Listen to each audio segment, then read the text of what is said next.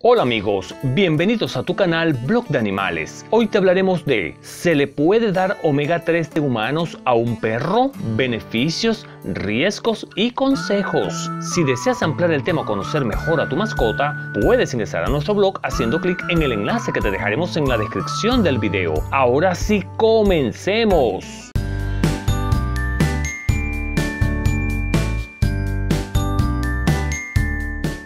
Los perros, al igual que cualquier otro tipo de mascota, necesitan tener cubiertas todas sus necesidades nutricionales. Para lograr esto, se puede llegar a usar el omega 3. Pero, ¿qué beneficios tiene para nuestro perro el consumo de omega 3? El omega 3 es un grupo de ácidos grasos poliinsaturados que suelen encontrarse en mayor medida en elementos como los pescados azules, algunos frutos secos y semillas, y puede llegar a beneficiar de la siguiente manera al sistema nervioso, inmunológico y cardiovascular del perro, contribuyendo a mejor piel y pelaje. Pero, ¿cómo se puede identificar si nuestro perro tiene déficit de omega 3 en su sistema? Para saber si el perro tiene déficit de omega 3 en su sistema, puedes llegar a ver los siguientes síntomas. Número 1. La piel y el pelaje de tu perro tendrán un mal aspecto,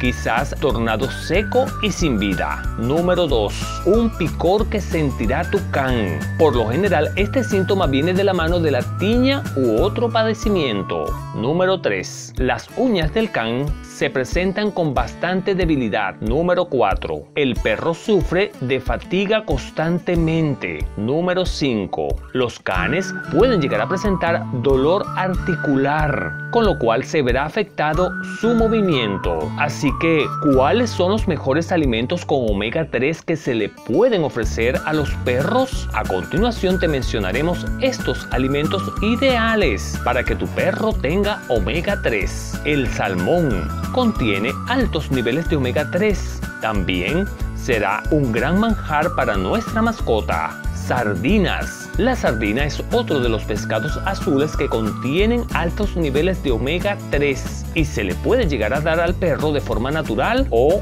en compañía con otros alimentos semillas de lino. Al igual que los pescados, llegan a tener niveles aceptables de omega 3. Para esto se puede usar junto con el pienso de los perros. ¿Es recomendable darle suplementos con omega 3 a un perro? Puedes llegar a optar por estas alternativas, pero consulta con tu médico veterinario.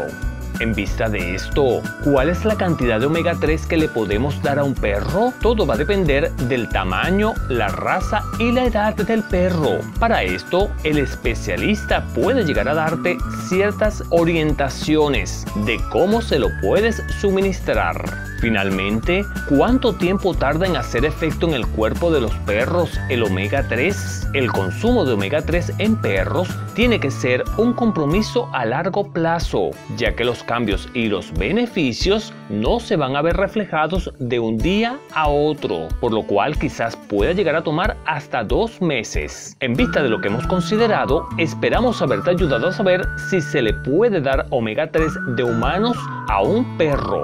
Si te ha parecido bien el video y te agradó, apóyanos mediante un like o un comentario. También puedes suscribirte al canal que es totalmente gratis y activa la campanita de notificaciones para que YouTube te avise cuando subamos nuevo contenido. Hasta la próxima amigos.